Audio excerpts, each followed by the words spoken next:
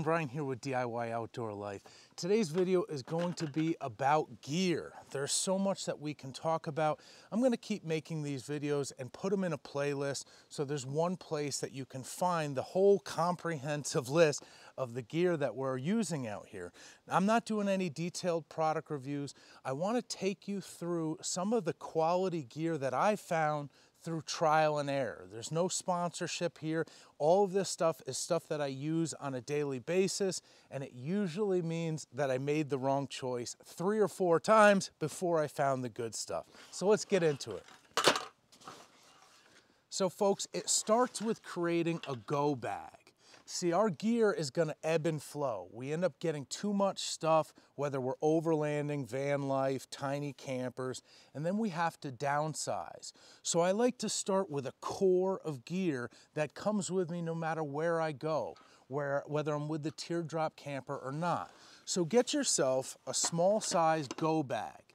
I like to stick to the rules of survival or backpacking. It's gotta be lightweight and multi-use. So I store my essentials in here. It has waist straps to wear it like a day pack or a waist pack. It has shoulder straps, so this is my hiking book bag. As long as I'm not overnighting, this is the bag I use for all of my hiking when I'm out camping. It's got a little creel strap that you can put on it to carry it like luggage or use when you're packing it. Um, it's very comfortable and it's a perfect size to carry all of my essentials. I even have a miniature go bag that I strap to it and that's for Ripple. That has all of Ripple's essentials. So the first tool for the go bag for me is a multi-tool. I've had a million and one of the cheap ones. Those are good to throw around in different places, but get yourself a good one that's gonna stay with you for your outdoor activities. Leatherman makes an excellent tool. They have great warranties on them. I've used them for years. I like the Wave and the Wave Plus. They seem to be the best price for the best tool. You got a couple blades, pliers, wire cutters, saws, a million and one things that take the place of a tool bag when you're out in the woods whether you're at a campground or not. So in addition to the Leatherman, I like to throw in a couple inexpensive knives. This is a cheap little Swiss Army knife, and this is one that I try to keep on my breast pocket here. It's, uh, it's made by Jellas. I'll put a link to all of this stuff in the description. But this one that I found is that perfect harmony between quality and price. You can spend over $100 on a knife, and that can add up really fast. So to find one that's inexpensive, that's high quality, is uh, always a good score. So I can save the blades on my Leatherman by using this larger knife for certain things, cutting cordages around camp. Now, since I have all these knives, the next thing that you should look at is some first aid kits. This one here is nice and light. It's a go pouch. That goes in here. This one goes in my teardrop. So this one has a waterproof case. My advice for these is buy a set kit like this, but then doctor it up. Take some good Band-Aids, put them in a Ziploc, throw your nail clippers and tweezers and scissors, things you might need in this pack, and in the Go Pack, you can add uh, Band-Aids and stuff as well, but I always add Benadryl. You know, Tylenol can save you from a headache. Benadryl can save somebody's life when you're out here. You never know uh, bee stings, food allergies. So the next thing that I think is important is lighters, lighters, lighters, matches, and more lighters. Now, um, I have these three on me right now. I get a 12 pack. This one is like a torch style with an electric striker. These are your standard Bics. Get some good matches too. They light when it's colder. Sometimes when it's very cold, lighters struggle. I have a stick lighter that I keep in the teardrop.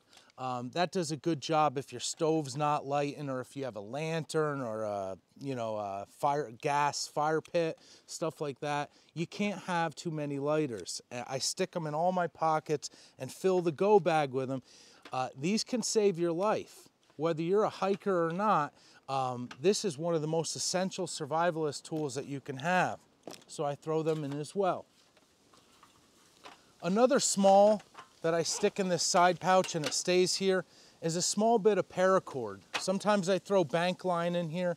This may only be a convenience for you, tying down your awnings, canopies, hanging up a bear bag or something. But the reason I like this paracord is you can actually strip it down to tons of individual threads.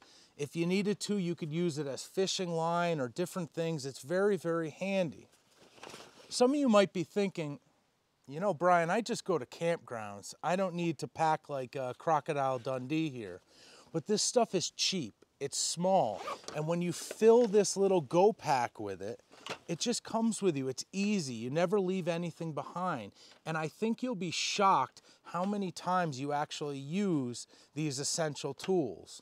If you're not using them, they're a great insurance policy because you never know when something's going to happen. The next thing I throw in is one of these little backpacker silverware cases, straws, chopsticks, sporks. You can stick a couple plastic utensils in here. Um, it's great when you're going on a little hike or things like that. I have a full silverware set with the teardrop, but you'd be surprised how many times we stop on the road and get takeout or something, and uh, why waste the disposable uh, silverware? So two items that some people leave behind is cotton bandanas. This is just an incredible thing to have. It's, it's convenient. There's some first aid and survival uses, but uh, a lot of times when you're out here, you need a cloth. And to have like a reusable one that you can launder and bring back is an excellent convenience. Go. Okay, folks, so like I said, I'm gonna put these all in a playlist so I don't have to cover everything today. But the end of the essentials for me is some high quality lighting options. You need a high quality headlamp. I'd love to do a full product review on this. There's plenty out there. The Petzl Active Core with the add-on Active Core battery is one of the greatest uh, outdoor pieces of gear that I own. It's comfortable, the battery lasts forever, it's rechargeable with a USB, it's highly water resistant. If you look at the reviews on this thing, the only negative reviews are some people complain that you have to open it to charge it. This uh, Active Core pack is sold separately. I recommend that too.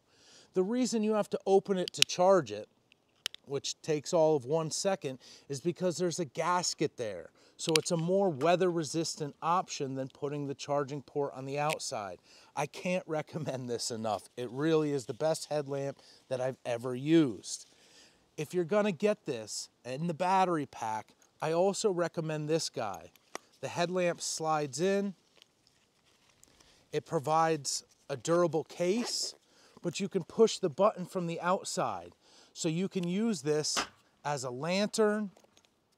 You can use the little piece of elastic that comes off the bottom and hang it in a tent or in your teardrop.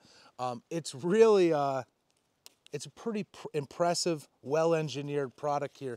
This is a magnifier and a diffuser, so it actually gives you more light off that headlamp, and uh, you know, multi-purpose is always good. Uh, let's see where to go from here. This is a little Goal Zero lantern. You can use it as a flashlight. You can use it as a lantern. I don't know if you could see this in the uh, brightness. There's no batteries. So just like this one with the battery pack, this little USB flips down and you just plug it in and it charges. If you need a charge, there's a female USB here. So you can actually get a decent amount of charge onto your phone. If this is in your bag and you're using a GPS or something, I have a short little charging cable. So I view this as a good insurance policy in addition to being a great little lantern that I use all the time. I use this flashlight from Gearlight wasn't very expensive. I use rechargeable batteries in it and it slides. So you can direct the light a really long ways away. That's always a convenient thing to have and they give you this great pouch. And the last and the fanciest, you've seen it before. This is a solar powered, it's charging right now because I'm out here in the sun. This is a solar powered battery from Goal Zero that's got a flashlight, a floodlight. You can crank it if uh, the solar's not working high-speed charger that magnetically snaps on uh, if you want to charge it up. And the female USB, there's a decent sized battery in here. So I always leave this out, charge it. It takes forever. This isn't a huge solar panel, but I actually charge the little lantern off of this and you can charge your headlamp, you know, not if it's down to zero, but you can top it off using this solar panel as well. So I really love these options that all fit inside the go bag. So the last thing that we'll talk about today is the, these batteries from Pale Blue Earth. They are the coolest batteries that I've ever seen. You guys know that I'm a battery nerd. You can get them in 9 volt Ds, Cs, these are double A's, these are triple A's. It's a lithium chemistry battery. It works down to about negative four. And if you're colder than that, I've tried this, you can just hold it in your hand for a little bit and it warms up to be able to be used. It comes with this little four-way charger. You don't need AC with that big plug-in battery charger. Every single battery has a micro USB. So this little charging lead does four batteries at a time. They charge extremely quick. They're 1.5 volts. So I'm going to do an entire review of these batteries in another video because there's so much you need to know about these. But this one pack takes the place of 4,000 disposable batteries. So why would I throw these in my Go pack? My radios, my flashlights, my lighting devices, all of this stuff because of the DC charger charges off my solar extremely quickly. So whether it's a CO2 alarm or my thermostat on the camper or some device that I'm bringing with me like a GPS, for me this is a life-saving measure. It's so light and small, I throw it in the Go Pack. Guys, I'm gonna, uh, like I said, make that playlist. If you like this sort of stuff, like and subscribe. Throw me a comment to add to the discussion. I'm sure I left a bunch of stuff out. So I'll keep making these videos because these were the videos that helped me out when I'm uh, getting ready to plan a trip. That's what I'm watching on YouTube. So I hope you appreciate it. Thank you so much for everything. I'll see you next time.